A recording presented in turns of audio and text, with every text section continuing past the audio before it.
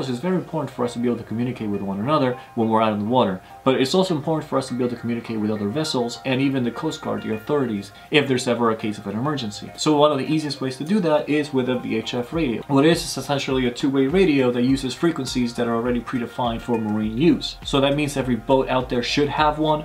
Uh, the Coast Guard will have it and will always be monitoring certain channels. And then for your group, if you all have one, it's very easy to communicate if you ever get separated or even if you're launching from different locations and you can talk to each other. And I'm also going to show two short clips of an incident management class where not only did we get to run through a couple of simulations, but we also got to do those with a US Coast Guard helicopter and a US Coast Guard small boat. So first, there's tons of different channels. The most important to remember is 16, Sweet 16. That's the one that the Coast Guard and all other ships should be monitoring at all times. And then once you've made contact, you'll probably be told to move to a different channel so you can carry out a conversation. Now there's dedicated leisure channels and those are the ones that are safe for us to use. They change from place to place, so just check locally what is available to you. For my area, usually we use channel 68 or 69. Another important thing to remember is that unlike a phone, it's not able to transmit and listen at the same time. And that's why there's a very specific protocol to follow when you're using it, especially if it's during a distress call, you don't want anything to be missed. Let's do a quick overview on protocol. Bryan Hansel has a great article on paddling light I'm to put a link to it below where he lists step by step what you should be saying and I'm to take you through a quick call as if I'm talking to one of my friends and letting them know that I'm launching somewhere close by. One thing to remember is after you're done saying, you use the word over so that they know that you're done transmitting and now you're listening. So it would go something like this. Kayak Felix, Kayak Felix, Kayak Felix, this is Kayak Luke, please come in, over. If I don't hear back, after a little while I would say the same thing. Kayak Felix, Kayak Felix, Kayak Felix, this is Kayak Luke, please come in, over. When Felix hears it, he would probably respond with, Kayak Luke, this is Kayak Felix, I hear you, over. So at that point I know Felix is listening, so I would try to give my message in a concise and clear manner. Kayak Felix, this is Kayak Luke, I'm now launching from Mamaroneck Harbor. I will meet you at the southern tip of Glen Island in 15 minutes. Over. Kayak Luke, this is Kayak Felix. Roger, I'll meet you in 15 minutes. Out. So since we're on the leisure channel and it's a conversation between friends, we would probably drop the names in the beginning of every single transmission. However, the very beginning, you definitely should start with the three times of the person you're trying to reach and then once to identify yourself. And then at least once in the return saying that they're receiving you and who they are.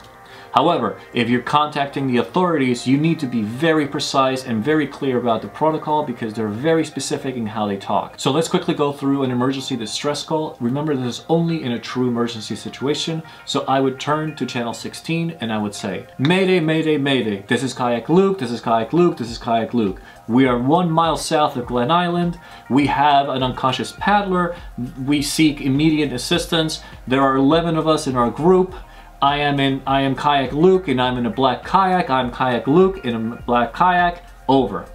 I would then wait 10 seconds and I would repeat until I hear a response. So this is an example of the time where sharp navigation skills are essential if you're trying to say where you're located when you're out on water. If you have a chart with you and you're able to tell them exactly where you are, then that means help will get to you much, much quicker. But in my message, one mile south of Glen Island, that might not be enough information. They will try to search for us. If I can say, for example, three landmarks that I can see from my location, they might be able to triangulate and get to us quicker. So having a chart, having a compass, all very helpful if you're trying to give your location to someone else. Then there's also the pan-pan protocol difficult that's the same as the Mayday protocol, but it's used when it's not a life-threatening situation. So in Bryan Hansel's article, he has a VHF radio cheat sheet which I really recommend you download and take a look at. It's a PDF. You can then print it and have it with you. For a class, Scott Brown had actually printed little laminated cards that we could keep with us at all times. For the helicopter simulation, we wrapped it up and made believe one of our one of our paddlers was unconscious. In turn, each one of us was able to relay information to the helicopter to guide it so that it could find us because it was much easier for us to hear the helicopter and see it than it was for them to find us, even though we were rafted. So here's that conversation. Coast Guard 6562, this is Kayaker 1, come in.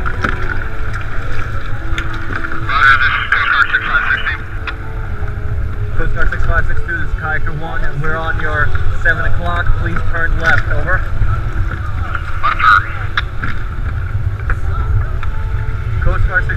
News, Kayaker 1. We're on your 12 o'clock.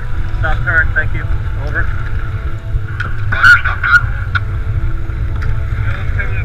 Coast Guard 6562. We should be inside soon. Over.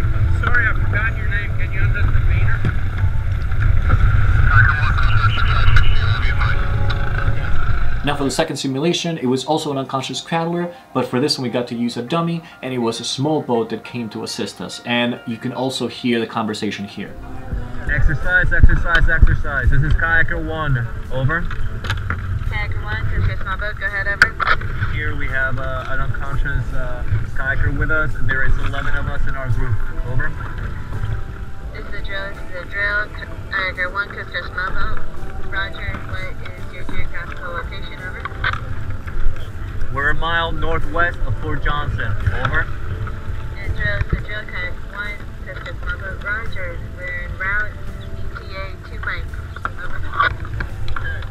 This is the drill, the drill. Kayak 1, Kayak 1, Coast Guard Small Boat. We have you in sight off our port bow. Attempt to make our approach, however, we're standing by with all the sailboats. Over. Roger. Over. So the one thing to know is in both of these conversations, I didn't repeat my name three times because we had already been in contact with them. If it was the first time that I was reaching out, I would have said, this is Kayak 1, Kayak 1, Kayak 1. It was actually extremely hard to try to be concise and to the point and quick when using the radio. But that's one of the things that you should really practice and see what that's like. So as far as radios, there's tons of them out there, lots of different companies. This one is an ICOM ICM24. It's one of the ones with the least amount of features. This one can float, it's waterproof, and also flashes when submerged. I always have it tethered to my PFD just in case. There's channels that repeat the area's weather on a continuous loop, so at any point you can turn it on put that on and then you'll hear it. Sadly, I'm in a basement right now, so I'm not catching anything. There's a lot more fancier ones. There's some with distress signals. There's some with GPS in them.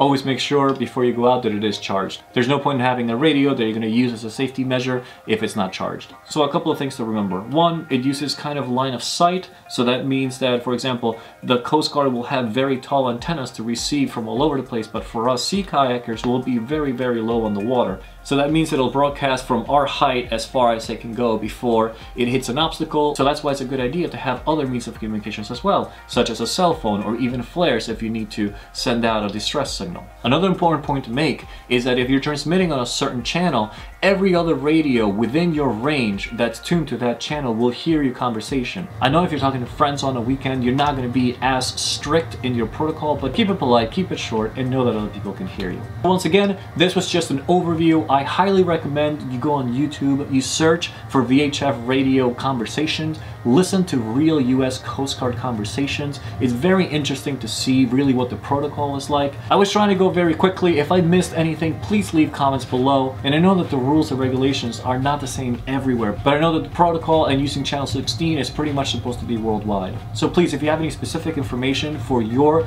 local area, please comment below so that others can see it as well. So I hope that was helpful. Please subscribe if you'd like. I'm always trying to put these videos out, and as always, Luke Rover Kayak Hipster. Thank you for watching. See you next time.